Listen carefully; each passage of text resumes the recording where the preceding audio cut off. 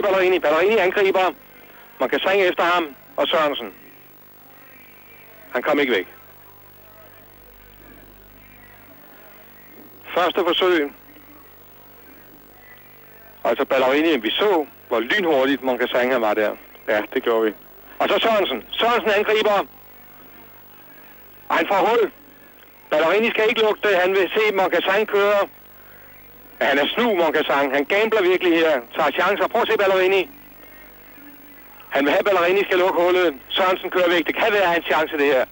En fremragende situation. Det er Ja, det fremragende. kan ikke bedre. Timingen var fantastisk efter Ballerini havde gjort et, en skilmanøvre i hvert fald, men dog brugt nogle kræfter.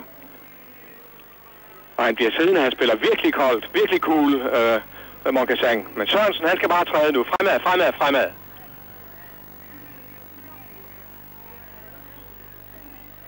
Sådan, væk. Nu kan han ikke ses, men målet kan ses. Kom så, Rolf. Den holder. Jeg tror ikke, de kan nå ham. Rolf Sørensen på vej op. Han holder hjem. Det er godt at se det her. Han har været så tæt på så mange gange. Monkasang bliver siddende nede bag Ballerinis baghjul. Rolf Sørensen kører ind på de sidste 100 meter.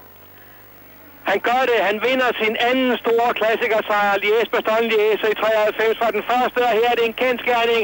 Han har vundet Flanderen rundt.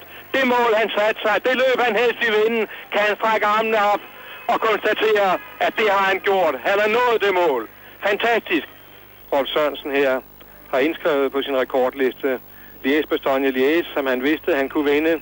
Flanderen, som han altid er gået efter, og her kan han triumferende strækker armene mod himlen, modtager de fortjente kys, puster ud og sige tak og tillykke, Rolf.